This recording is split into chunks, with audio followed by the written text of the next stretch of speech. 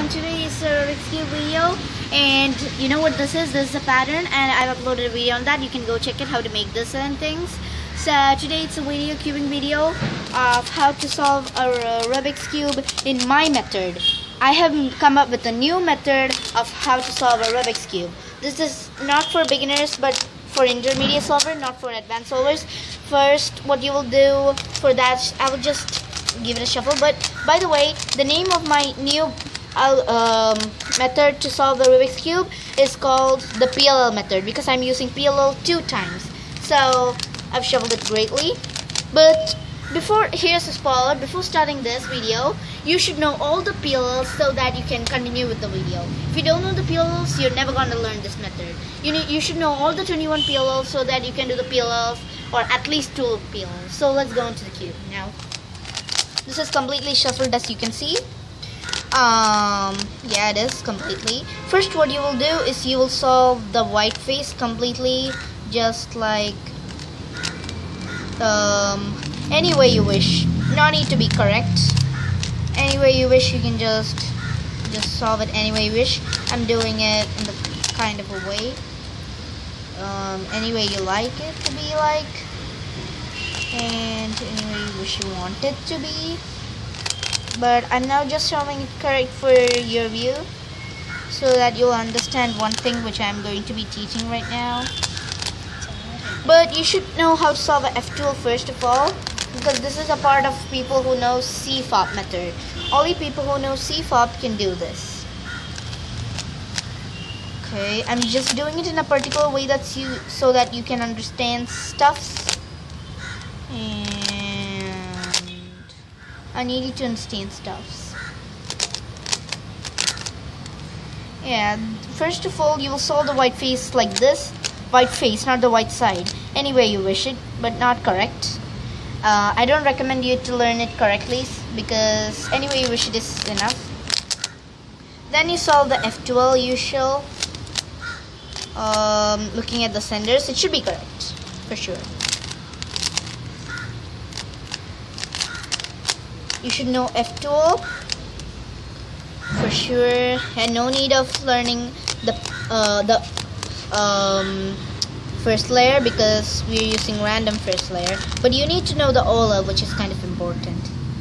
So only last layer OLL you got a gun shape so I make the cross for beginners by you doing FRER prime E prime F prime. Beginners to look OLL and everything is another video. You can go check that out. And now continue with the OLL you can use the two-look OLL for that.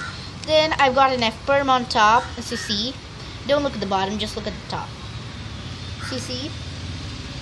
These both should swap and these both should swap, so it's an F-perm.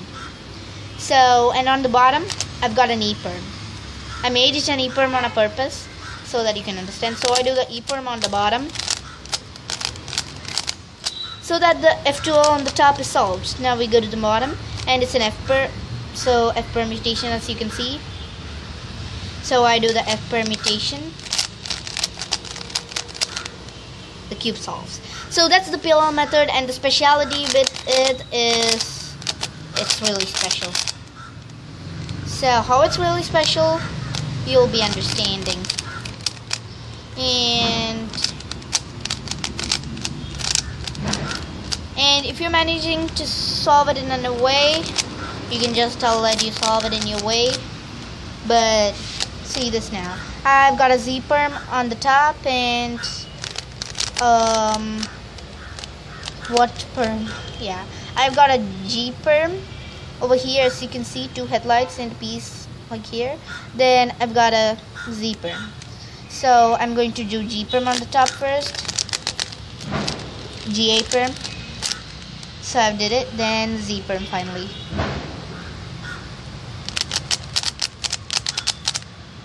that solves the whole cube. And what if I will show you one more example? Um,